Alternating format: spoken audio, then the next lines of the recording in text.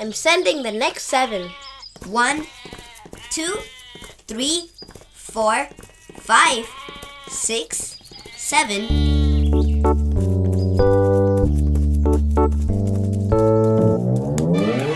Where did Byra go? Byra has gone guiding the sheep. Why did you let Byra go on his own? That's because I want you to help me on this end.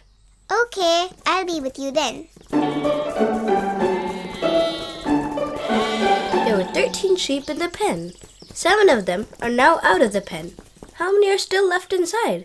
Let's find out. That's one row of 10 and three on the second row, which is a total of 13. We have 13 sheep as a row of 10 and a three. One, two, three, four, five, six, seven. Seven of them left. The remaining sheep are one, two, three, four, five, and six.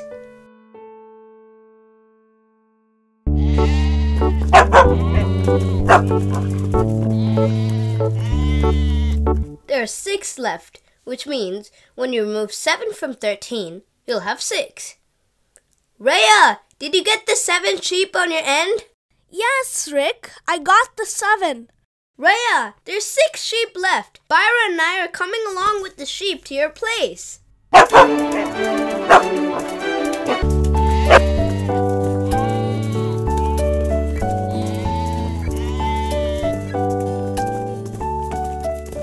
Rick, it looks like all the sheep are now in my pen. Can we make sure we got all of them? Sure, Reya. It should be 20. Let's make sure.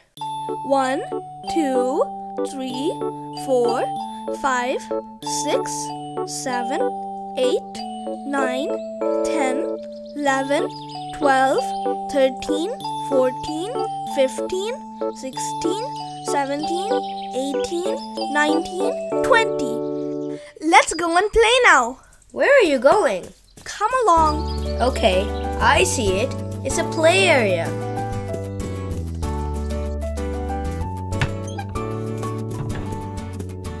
Sit on the other side, Rick.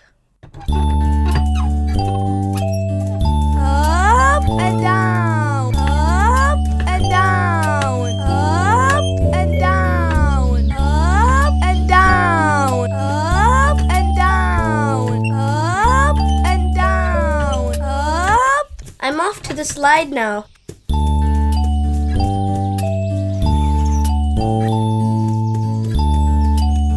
Yeah!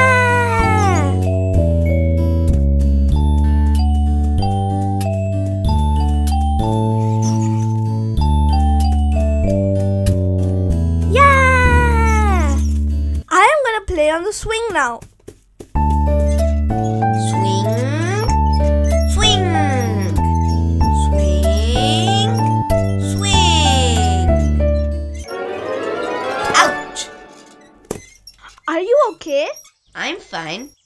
It's time to see what the sheep are up to. Reya, let's get back. Sure, Rick. Let's recall! Hi, this is Reya. Welcome, everyone. What's left is 13. Next, 7 more sheep left Rick's pen. Do you remember how many were left after that? Was it 5 sheep? 4 sheep? Or 6 sheep left in the pen? Yes, when 7 sheep leave 13, what's left is 6. Shall we take a look? That's one row of 10 and three on the second row, which is a total of 13. We have 13 sheep as a row of 10 and a 3. One, two, three, four, five, six, seven. Seven of them left. The remaining sheep are one, two, three, four, five, and six. So, when 7 sheep leave 13, what's left is 6. Eventually, all of the 20 sheep reached our pen. That's all we have for today. You are really good in subtraction now.